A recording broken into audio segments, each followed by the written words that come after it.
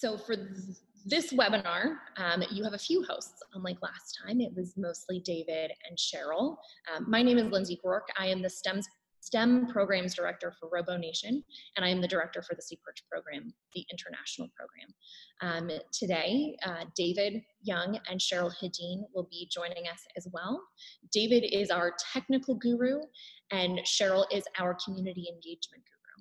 So they'll both have different different points to talk with you about today. And uh, just to let you all know, we are here and uh, happy to help you not just today, but through the forum and through email um, after this. So just know that we are just a phone call or email away um, and happy to help you on your SeaPerch journey.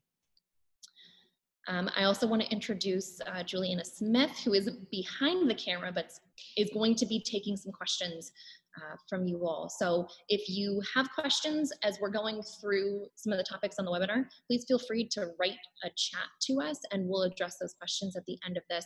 Any questions we're not able to get to during the webinar period, we will answer uh, via email and on the forum after this event. So for this webinar, we're gonna cover three main topics. The first is the technical design report uh, that's new this year. So we want to walk through uh, the format of this report, the rubric, um, and then the value of still maintaining an engineering notebook and some of the tips that we see for success on that. Uh, the second topic is going to be citizen science projects. Uh, we had citizen science projects last year, um, but we're really working to, to beef those up this year. So we want to talk through that a little bit more with you. And then the third topic is our uh, how we're going to implement these these project components for the international challenge. So as a reminder, uh, teams must qualify at regional events to come to the international challenge, but we just like to make sure that our teams are prepared and know what to expect coming into that event. As a reminder, the webinar will not cover how to build a SeaPerch, how to start a program, how to host a competition, but we will be hosting more webinars moving forward and invite you to uh, shoot us an email and submit your ideas for webinars that you think would be helpful for you and your community. All right, so technical design report. Everybody had gotten used to the engineering notebook and this is a pretty big change. So before we get into what it is and how we're going to judge it, we want to talk a little bit about why we made this change. Uh, this change came for a variety of reasons. So one is that as we're evolving the SeaPerch program, we are working to make it more applicable to real world content and skills that students will face in their future educational journey and in their future careers. And we feel like a design report that asks the students to reflect on the engineering design process writ large and also on the experience and to reflect and analyze how they may change how they approached it in future iterations is a really valuable skill and something that um, will serve them well moving forward. Uh, we also know, uh, all of us are in professional environments, that oftentimes when our boss asks us for information, they want it as concise and condensed as possible. And so we know that some of the guidelines and the length requirements this year are tight. Um, let the students know that we know that, we're asking for a lot of information in a really small, uh, really small sections. But that's part of the challenge and everybody's facing the same challenges and we're just really excited to see how students uh, are able to present what they've done in in this this concise manner. Um, the other aspect of this is that we want our judges to really be introduced to the SeaPerch program through the student's eyes, and we feel like this is a great way to do it. Um, the engineering notebook is a great way to document the process, and as David will talk to shortly, we really hope that teams continue to maintain that engineering notebook. And that notebook can be included as a part of the report, but it will not be scored. So we don't want students to feel like each of the, the documentation pieces that they're doing over the course of the, the design project are going to be scored, um, but that they can be compiled into this final report.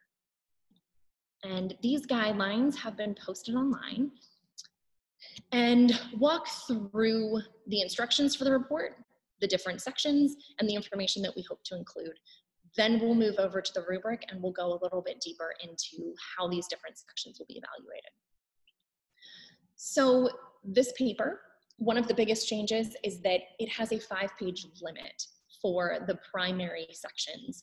There are sections, including references, acknowledgements, and a few appendices that are not constrained to that five page limit, but the bulk of the paper is limited to five pages, and we will be strict on that. Um, we have standard page sizes, margins, fonts, um, and formatting. And to be very clear, we are expecting all submissions to meet these guidelines, and if any of these guidelines are not met, the team will automatically lose 10 points. So that is included in the rubric this year. So we want to make sure that these, these guidelines are very clear. So if anybody has questions, again, post them on the forum and let us know. Um, and we'll make sure to, to make that as clear as possible. So for the paper contents, um, the paper will start with an abstract. Um, this is a really important part of any research project or any presentation is being able to synthesize information. So the idea of the abstract is just to summarize what's in the rest of the report and the students have a half a page to do that. The second section is the task overview. Again, they have a half a page to do this, but it's the first step in the engineering design process. So before any of us move forward with with building a SeaPerch or approaching a challenge, we have to first understand what the challenge is. So in this section, we're asking teams to, in their own words, describe the courses in the competition that their SeaPerch is expected to um, successfully uh, navigate and the uh, characteristics and features of the SeaPerch that they will need to have to make sure that they can um, address those challenges successfully. So this effectively is, is going into the rules and the course overview and describing it in their own words. So making sure that, that when they get into the design approach, um, that they have thoughtfully made design changes and gone through iterations to, um, to successfully uh, complete those courses. The largest portion of this report is the design approach. So this is where a good chunk of um, the iterative design process will be discussed. It will be where we want the teams to talk about their strategy and approach. How did they work together? Did they set up different roles? Um, did they have a schedule that they uh, adhered to? This is where we want to learn more about how they approached getting to their final design this is, uh, again, it's, it's two pages and it's a lot of information, um, but we're also hoping in this section that teams will include um, some graphics or a graphic um, so that it brings the design process and final design to life for reviewers. Um, and this is also where we expect to see some engineering and scientific terms. To be very clear, we want those terms to be embedded into the section and not called out in a separate glossary. And top scoring teams will find a way to use those terms to enhance the information that's included in that section. The fourth section is talking about results. So as we say in the first line, there's a strong correlation between testing and performance. So we want to learn a little bit about how the teams went through this iterative design process. How did they know when they wanted to make a change and why? So we understand teams don't always have access to water. So there are simulation environments and, and different ways that they can do testing that can help to inform either their full design or aspects of their design. So we just want to hear about those. We want to know what those results were. Um, and in this section, would also like to see uh, charts, graphs, any figures that will highlight the data that was collected in those, uh, those tests. The fifth section is focused on reflecting on the experience. So as a team, we want to hear about um, what the team learned, what they enjoyed, what was challenging, um, and how they think it either changed or, or directed them in future endeavors. For the next steps, the team can focus on either what their next steps are as a team, or if it's more applicable, they can talk about what their next steps are for the ROV. We know many of the students coming into these challenges have a plan for what they want to do next, another iteration that they want to make to make it perform better. That is completely acceptable in this in this section. On the other hand, uh, say we have a group of seniors competing and this will be their last SeaPerch competition or their last time doing something like this. If they want to talk about the next steps for their team and how they're moving forward, um, either as a group or, or even potentially um, as individuals pursuing um, particular studies and how this experience kind of push them in that direction or or or influence them in some way that's that's completely fine too so we'll leave it to the teams to decide whether they want to focus this discussion on the rov or on um, the team in general so you'll notice we have a second section five. We're gonna fix that online. Um, so section six will be acknowledgements. There is no page limit on this, um, but it is a required section. We feel really strongly that it's important for all of us to recognize that um, none of us succeed on our own. And we would like teams to take a moment and to just acknowledge the individuals uh, the mentors, the, the organizations that have helped them to get to where they are in the competition. So we know it can take many forms. This can be advice, equipment, contributions, any kind of resources. Um, and it will not be judged any more than just judging that it is included in the report. The what's noted as the sixth section, but the seventh section is references. Um, similar to the engineering notebook, we would like to see um, references and citations included within the paper. Uh, we're asking for APA to be the style guide that's used and for students to include in-text citations to really show us and the judges how they used that information and how it enhanced their experience and their understanding of, of the engineering design process. We then have three different appendices. The first appendix is budget. Um, the budget's gonna fill two roles this year. One, um, as you all know, there is a $25 limit for our stock class divisions. So this will just be a place that teams can document what components were purchased and how they were incorporated into the design with a cost that will be totaled at the bottom. Um, it's just a way to, to really, again, showcase how the de design took shape. To be clear, this budget sheet only needs to include the components that are on the final competition SeaPerch. It does not need to include components that were added and then subsequently removed um, because they, they didn't fit the bill for whatever it was the team was trying to do with them. Um, at the International Challenge, we will also be using this budget to, uh, to conduct triage and to make sure that teams are in the appropriate classes. So for teams coming to the International Challenge, we will ask if any revisions have been made to the SeaPerch sense registration that they bring an updated budget. The second appendix is something fun that we're doing this year, um, and that's a fact sheet. So we want to have effectively a one pager on each team and each SeaPerch. And this is um, really high level, just includes the team name, where the team's from, an image of the team's SeaPerch, and then um, a highlight of right here, what competition class they plan to be in.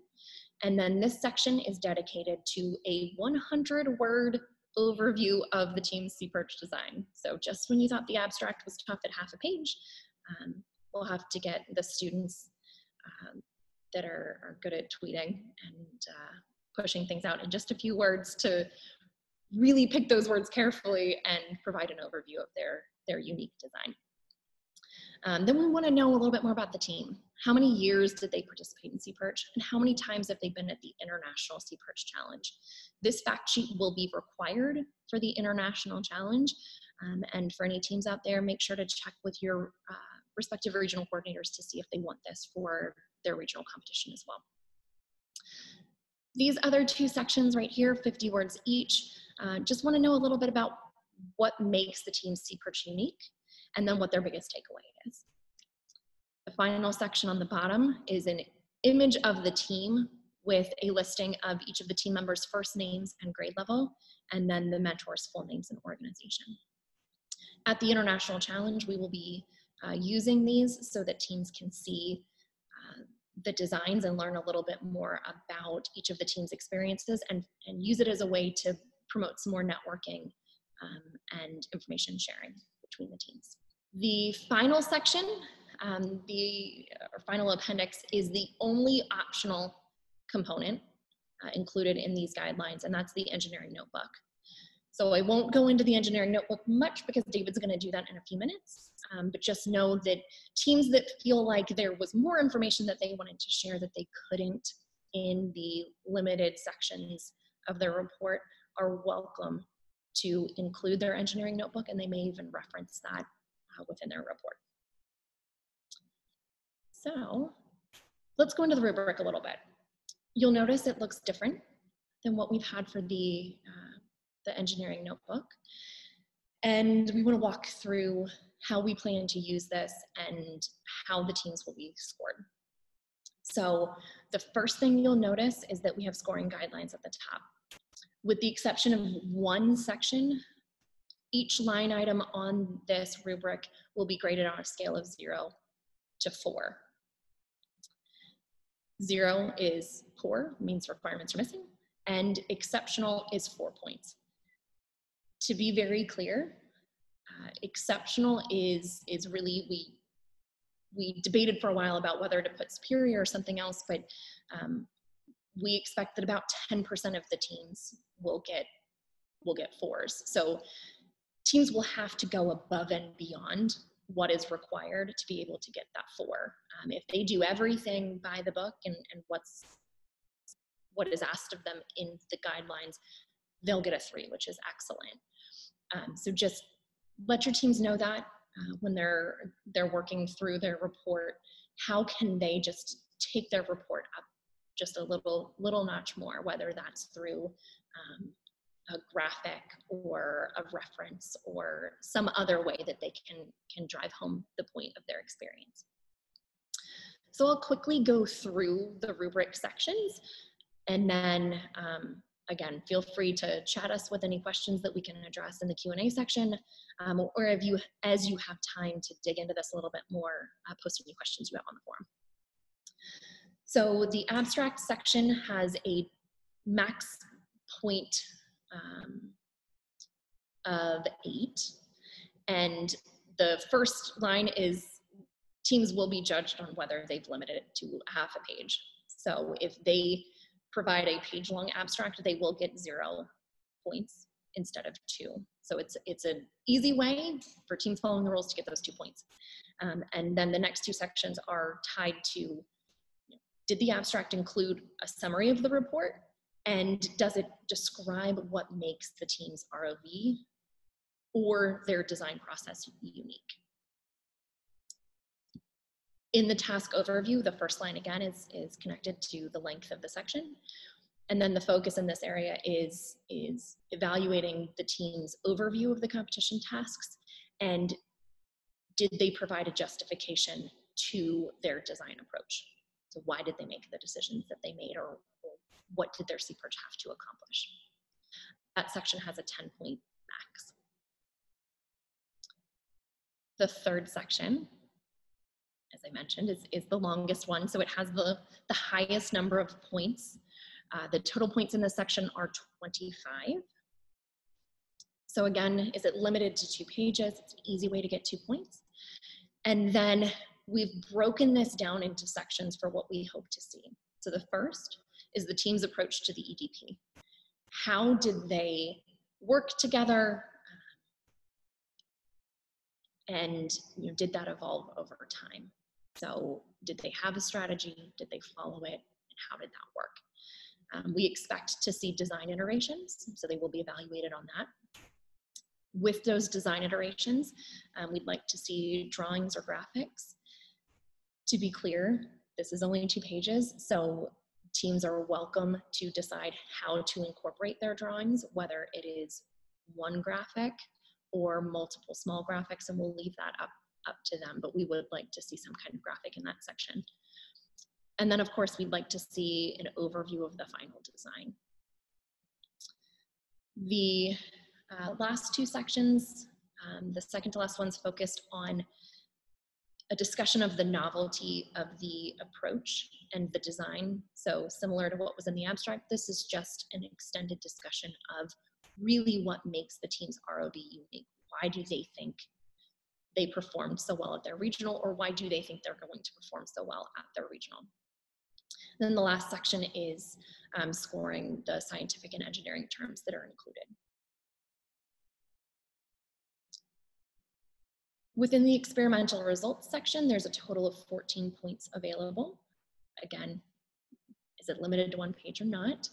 Um, and then the three different sections are tied to an overview of the testing that was done, then the impact that that testing had on subsequent designs, and then the, the final area is the test results to just show us that data and let us know how they used it. In reflection, the next steps, the max points is 10. Again, is it limited to one page or not? And then breaking up that section into two different areas is their reflection on the process and their discussion of what, what the next steps are. As I mentioned for acknowledgements, the only uh, points that are tied to that is just whether it's included in the report or not. For references, it will be evaluated on does it follow the APA format and do the references support the report. So there are a total of five points for references um, and this is one section where students will be evaluated not just what's on in the reference section, but how it's incorporated into the report. So as you can note, to get a, uh, a score of three, we expect that uh, the references will be cited in the report and not just listed in the references section. For the budget section, it's just two points. Again, it's if the section's there, they're gonna get two points. We're not gonna evaluate the budget or how the budget was used. For the fact sheet, uh, again, it's, it's zero or two points, two points if it's included, and then um, up to four points for the content that's included in the fact sheet. So the fact sheet area has a total of, of six points. Then the final two sections are really focused on um, the writing in the report and then following the guidelines. So in the writing skills section, we're gonna be evaluating organization, readability, and spelling and grammar. grammar. These are all things I think we can agree are important and significantly impact the, um, the, the power that the report has in telling the story of, of the team's engineering design process. For the organization section, um, it is expected that all team reports will follow the, the structure listed in the guidelines. So we would like to see each of these sections in these orders. So this organization is, is not just tied to that, but also, for example, in, in the section that's two pages, how were those two pages broken up? Did it, did it help promote readability? Did it help to, to flow through the report? Or did it make it, make it challenging? Did it ramble a little bit? Um, readability is, is exactly as it sounds. Is it clear? Is it focused? And is it cohesive? Um, and then spelling and grammar, I think, think we all know what to expect there. So paper format, this is, is kind of where we started. Um, teams that follow all formatting guidelines will automatically be given 10 points. And if any of these formatting guidelines are missed, they will not get those 10 points. um, we've included a note. In the past, we've asked for engineering design notebooks to be provided handwritten. Um, we would love for uh, electronically developed and submitted reports this year, so please feel free to use computers when creating your report. Um, but for teams that maybe don't have access to a computer or that um, would just like to, to handwrite their report, they are welcome to do that. Uh, the challenge here is that all of these guidelines, with the exception of we don't expect them to write in Times New Roman 12 point font, think it would be kind of hard. Um, all the rest of those formatting guidelines will, will stay the same. So that is the new technical design report and the rubric. I'm now going to pass it over to David to talk a little bit about the um, engineering notebook and how that can be incorporated this year. Great. Uh, one thing I do want to say, I don't think we'll get any complaints that students do not have to rewrite a 24 page notebook the day before they turn it in. Uh, so kudos for the technical design report and coming up with that. Uh, the notebook, it's although it's optional, it's not required. It can be included in the appendix, um, but it's still highly recommended that teams keep a notebook throughout the project. And this is important because this could be the, it should be the source for your technical design report. Uh, so they're keeping their notebook and then the technical design report is really going to be put together toward the end of their pro, uh, project. But it's also important if you have a follow-on program, you continue the SeaPerch program year after year, your follow-on teams will be able to use their students' notebook from prior years to see what their success, you know, successes were, failures in the past. Uh, so especially important for follow-on teams as well. So just kind of think about that as the future. Um, the engineering notebook, as I said, it, it, can be included. It's not scored though. Even if it is included, it will not be scored. Teams do not have to follow the formatting rules that are set forth in the guidelines, the 2019 guidelines that are available on the engineering process page of our website. Uh, so totally disregard those. It should still be neat enough that someone reading it can actually read it. Uh, and especially there again, follow on teams, or maybe you're going to look back on something that you want to pull information for the technical design report. So it's, it's pretty important that it is neat.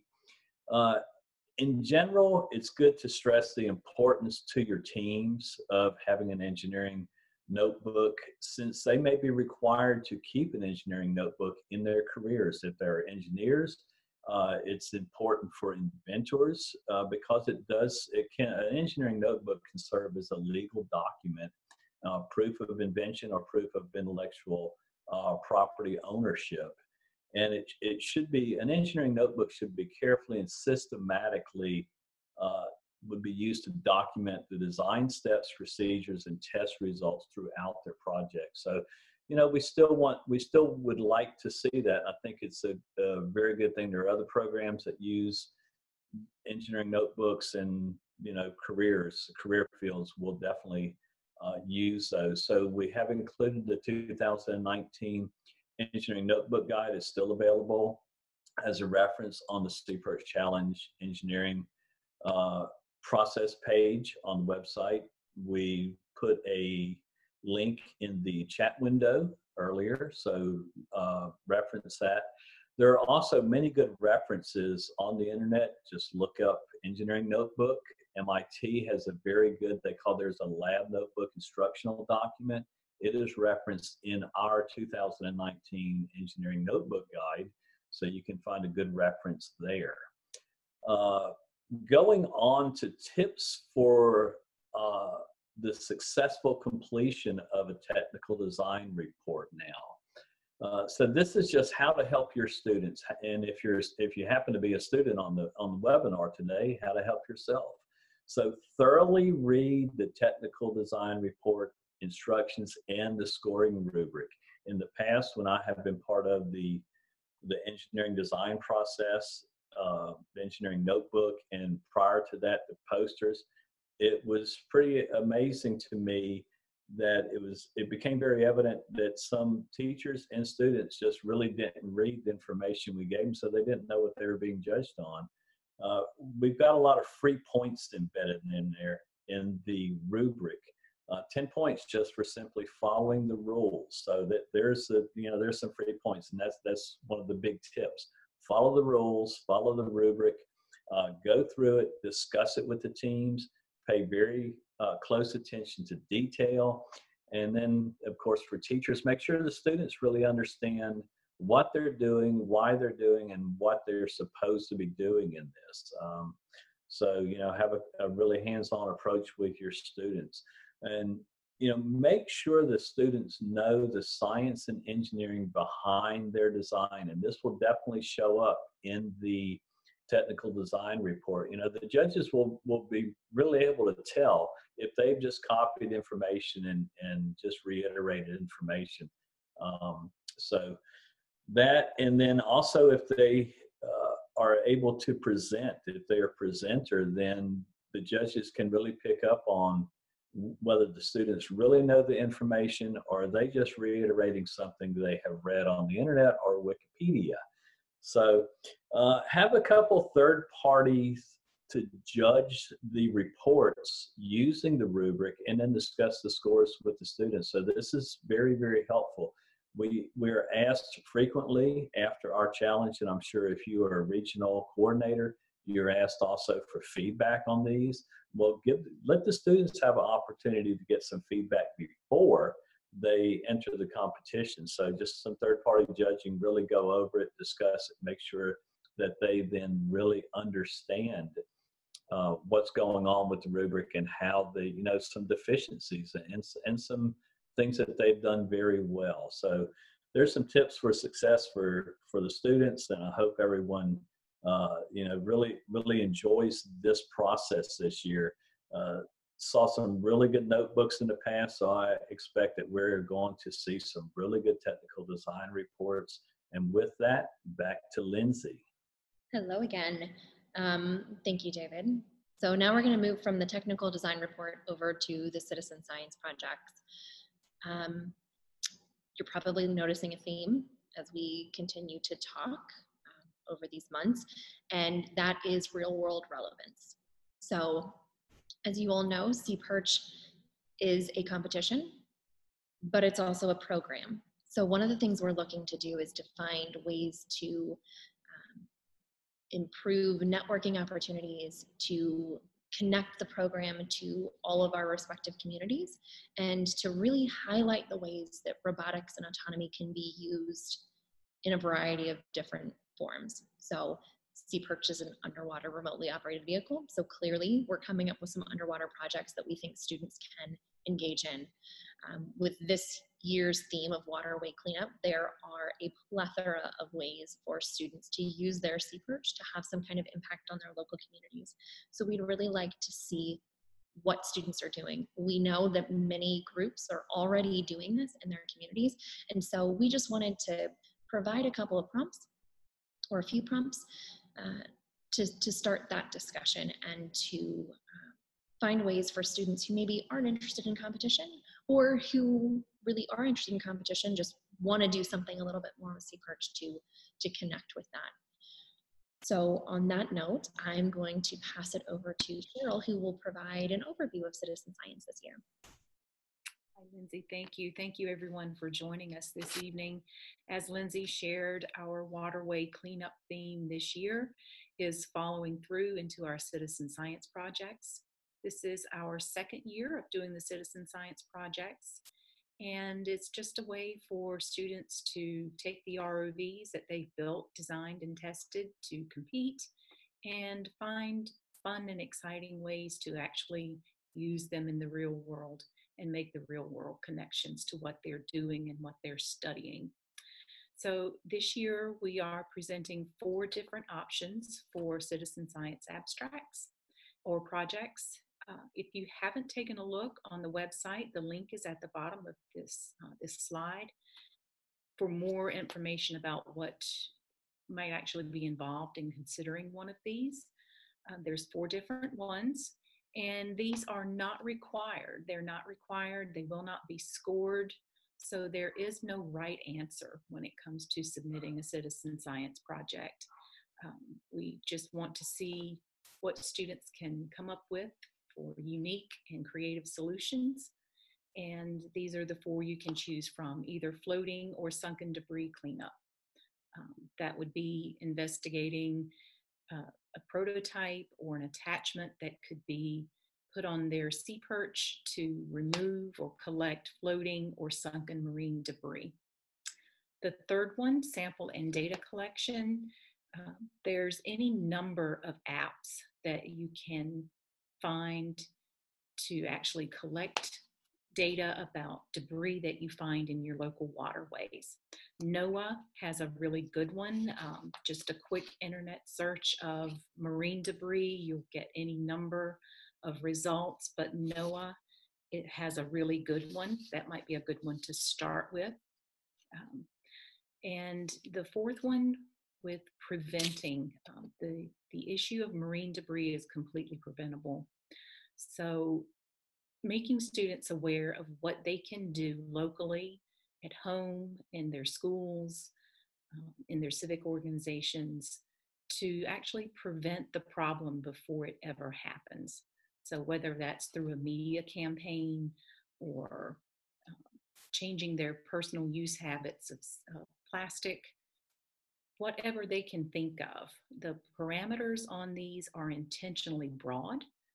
We don't give a lot of guidance or guidelines on these, so this is your chance to really take your SeaPerch and take it to the next level. The intent is to get students thinking about what they can do in their community to make a difference and how their SeaPerch can be a part of that. So, in doing research for the citizen science projects, we found um, this six degrees of separation slide that I thought was really interesting to make students aware that how a plastic bag from a store can eventually end up into our marine wildlife and waterways. It's um, it was eye opening for me to see that, and um, probably for your students as well. Ocean Conservancy is another good resource for researching these citizen science projects. And we're excited to see what you come up with. And you can share, um, we're, we're investigating ways for citizen science projects to be shared for those who cannot participate at the International Challenge in May. Um, you can share them at info at seaperch.org or on social media with the hashtags you see here on the screen. And with that, I'll pass it back over to Lindsey. Thank you, Cheryl. I appreciate it. Um, to add to Cheryl's comments, uh, the virtual sharing component, we are we are looking into platforms and we've found, found some really cool ones. Um, anybody who's seen a cute baby contest or a cute dog contest, we want this to be a, uh, a SeaPerch in the wild type of contest. So one of the really fun parts of SeaPerch and one of our favorite parts of the competition is seeing all of the different SeaPerches and we want to make sure that students teams mentors um, local sponsors national sponsors have the opportunity to do that as well. Um, so as cheryl said share it on social media or send it to us and, and we'll share it and make sure it gets out there.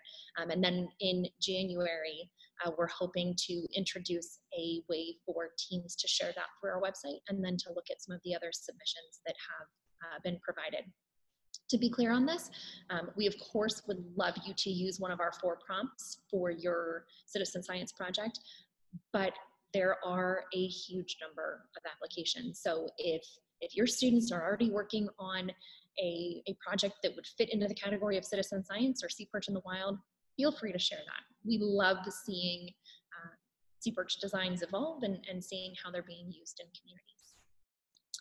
The second portion of this is that uh, we know that um, citizen science being a new component, um, when we have a lot of educators that are just filled to the brim already with the work that they're doing, it's sometimes hard to think about how to incorporate a new program component. So in January, for anybody that's interested, we are planning on hosting a roundtable style uh, webinar where we will just have a discussion with folks. Uh, we want people to come with ideas for how they're incorporating it into their classrooms or how they think it would work in a program, you know, whether that's an after school program, um, a club, homeschooling, any type of implementation model that you're using for SeaPerch.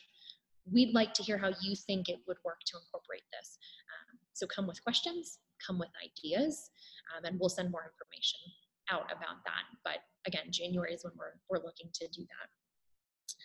So I am going to uh, pass the mic back over to Cheryl for just a minute to talk a little bit about how these different components relate to the International Challenge. Uh, we know everybody's getting excited. February is coming fast and, and so is the end of May. Um, so just to uh, to share a little bit more about how the, the technical design report and the citizen science projects will be included in that event. Thank you, Lindsey. The, the first thing probably that everyone is wondering is when will these um, notebooks or technical design reports, when are they due? And that date is April 30th. That is also the registration deadline. So that's an important date to keep in mind. These will be judged uh, by a panel of judges, scored, ranked, and the top teams will be offered a chance to present, much like last year, to their peers. We have not determined how many presentation slots will be available at this point. More information will be coming on that, but it will be a chance for students to present in a conference type uh, professional atmosphere and get the experience in talking to their peers and their mentors about their designs and how they got to the International Challenge. The citizen science projects uh, will also be due April 30th, and they will be submitted along with the technical design reports for those who choose to do the citizen science projects. Again, those are not required, but we would very much encourage you to do those if at all possible. Would be the forum, the place that we have set up to help you help yourself. So the forum is where you should ask all questions regarding the challenge. Uh, going forward, we get a lot of emails still, uh, but this is the place that the forum is your go-to uh, information hub. So ask your questions there, drill down, make sure you're asking the uh, posting them in the appropriate topic fields, and then also uh, search the forum first because someone may have already answered the question or someone may have already asked and hopefully it has been answered. Um, so, you know, what else can I say other than this is your place to go? If you send us emails, we, we may answer your email, but we're also going to then direct you to the forum. And the thing is not that we don't want to be bothered with your emails, is that we want to benefit everyone in the community, everyone in the SeaPerch program, everyone that's going to participate in a challenge with seeing that question and then seeing the answer to it. So that's really the reason that we want you to post using the forum. It's also a place that you can make connections if you're a regional coordinator, a teacher, or just someone doing the SeaPerch uh, challenge, uh, participating in it then this is a place that you can also make connections. It's also a place that you can suggest uh, webinar topics going going um, going forward. And there is a webinar topic uh, that's kind of funny. You're going to post a suggestion for a webinar topic in the webinar topic area on the forum. So that kind of wraps it up. And now it's back to Lindsey. Thank you. Um, so now is when we open it up to questions. The first question is, do open class teams need to document their budget in the technical design report?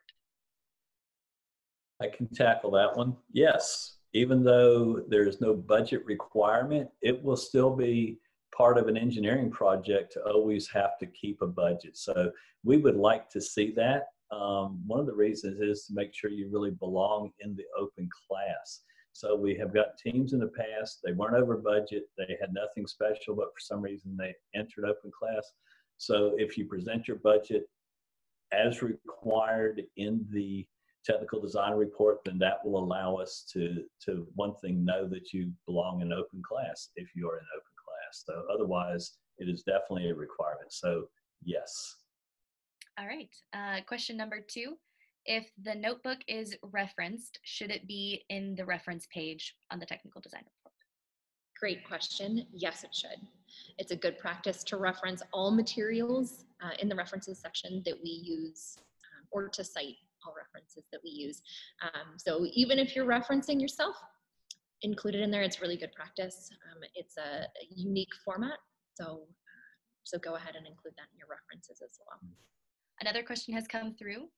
You said you want to see the design reiterations, graphics or pictures, but with limited or writing space.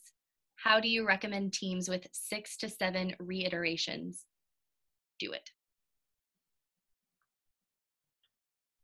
That's a good question, isn't it, Lindsey? It is a um, so they are there's a they're really limited to space this year in the in the technical design report, and they are going to have to come up with creative ways to do that. So um, they may not be able to show a full size view of every iteration, but they need to at least indicate somehow that there are different iterations. So it, it, it's just not going to be possible to show all the details for that many iterations. But you know, they should be able to reference that they had six iterations and maybe even show you know a larger section of, of one of them. But you know, part of this is, is also creativity in in this program. So, you know, when when we gave students opportunity to be creative with the notebooks, we saw some very creative notebooks and presentations. So, you know, I hate to kind of pass the buck back to the person asking the question and back to teachers, but there is definitely limited space, so they're going to have to be really creative about how they approach this. Um, the other piece of this is that uh, how that space is used is really going to be dependent on the design process that each of the teams undertook. So if they have two design iterations, they may be able to delve into them a bit more. If they had 20 design iterations, they're probably not going to be able to discuss each one individually. Remember that this report is, is supposed to be a high level overview of the process and the experience. So we would like the teams to really focus in on the areas that they felt were most impactful in getting to that final design. So say they had 10 design iterations and three of them it was small tweaks that they decided to make. Maybe just a reference that in those three iterations, that's all that came out of it and diving really into the, the few that had the biggest impact on the final design uh, is the right way to go. But, to David's comment, we uh, rely on each of the teams and the mentors uh, to provide guidance to the teams on uh, what model may work best for them and to, to try it out. Um, again, we recognize that this is a, a different kind of challenge, but it is a really important skill going into the real world. Um, so everybody just do your best and, and we can't wait to see what you, you share with us. Well, thank you all for joining us this evening. Um, it's, it's great to have you here. It's great to have you as a part of the community. Um, we're excited to be doing this to have at least a little bit more of a connection to you all um, and look forward to continuing to do them in the future. Um, we know that for many of you, this is after hours and this is an added um, volunteer opportunity for you to engage. So thank you for taking the time and the forum is open and ready for questions. So we look forward to talking to you moving forward and uh, we hope you have a great rest of your evening.